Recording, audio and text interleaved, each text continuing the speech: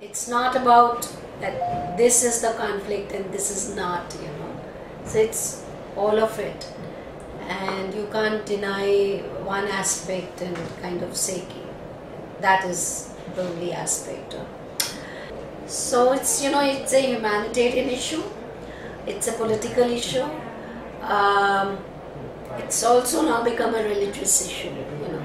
Uh, the culture what we had grown up into is not the same. You know, there's a different kind of Islam which is coming, which is alien to the local um, sensibilities. There are three distinct cultures, there are many languages, there are five major ethnicities, and um, I think five major religions.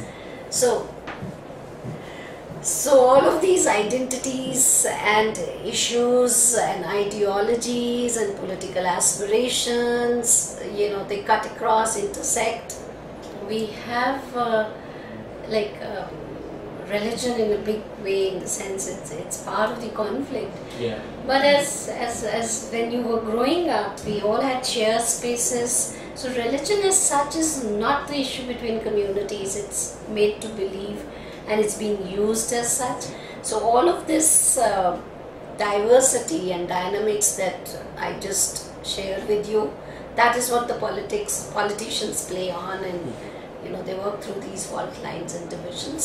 So our work is located in this entire complexities of uh, conditioning, of experiences, of memories, of history, of uh, of the uh, fault lines um, and how each community sees their own reality and truth and kind of negates the reality and truth of the other.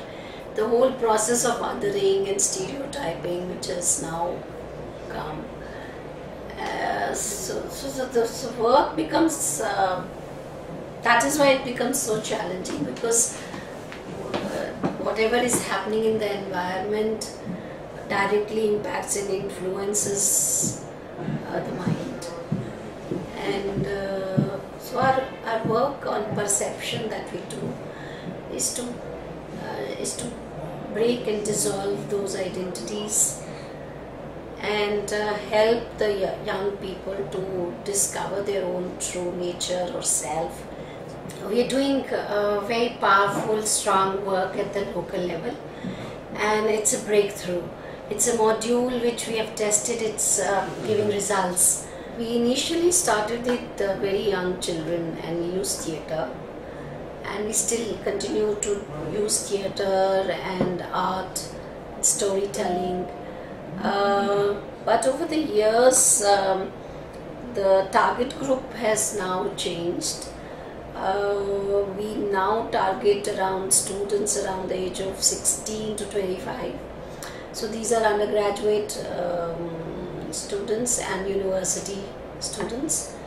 Uh, we go to the college the first level and there are around 50 or 60 students in a workshop.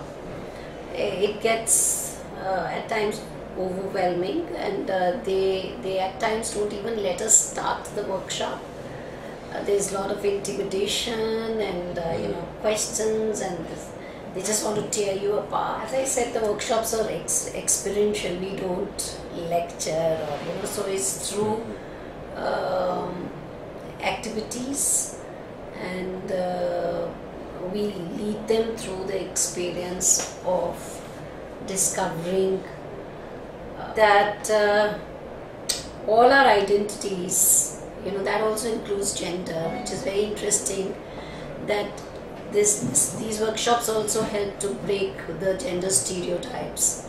So the work as i said is on um, identity uh, whether it is religious or cultural or ethnic or regional or political or gender based um, so we help them dissolve all these identities. We help break uh, stereotypes and prejudices.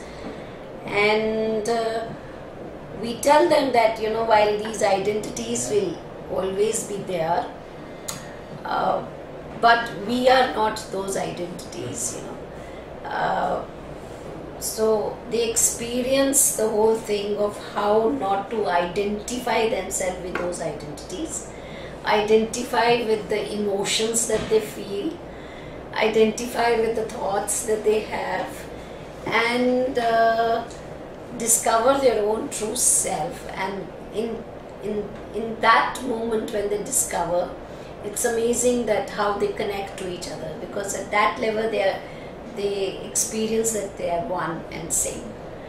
Uh, so, so we call that a box and so by the box in hindi it's called dabba so so they all want to get out of that dabba then you know and while the dabba remains um, they are not that dabba so, so that's also called out of box thinking, you know. So how do we think out of the box?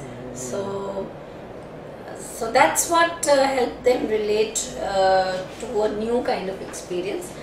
And then we, we identify the leadership uh, potential in some of them out of say 40, 50, 60, 10 might have that leadership.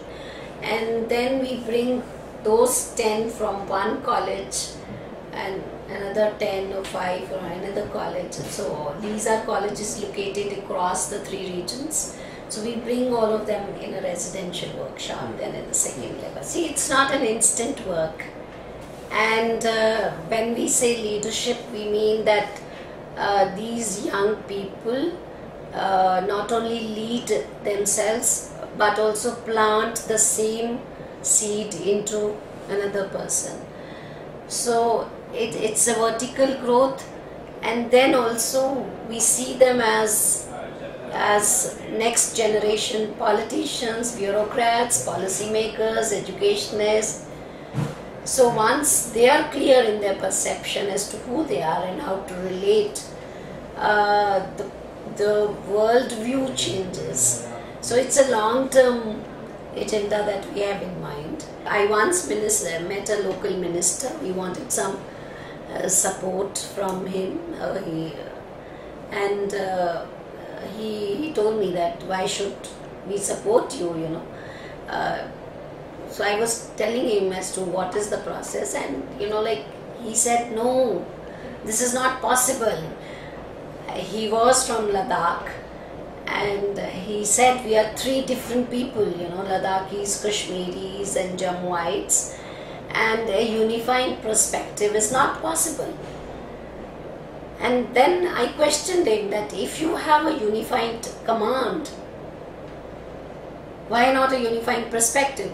So the state looks at the conflict only from the sovereignty, territorial, and security point of view. Mm-hmm. This element of uh, uh, of human beings of relationships uh, that is missing in the um, you know government and state perspective in the and in, in the political leadership so that is where our work is not only to bring young people across uh, these fault lines for dialogue but also to uh, also to create a unifying perspective uh, that there is a possibility to create a common ground and and to nurture that, to sustain that.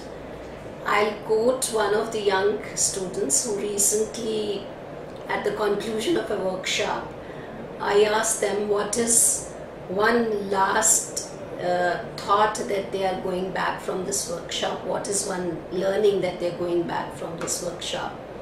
And she told me that peace is not something in the external.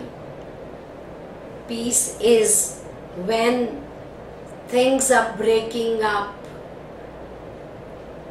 in the external, there is complete uh, silence and peace within you.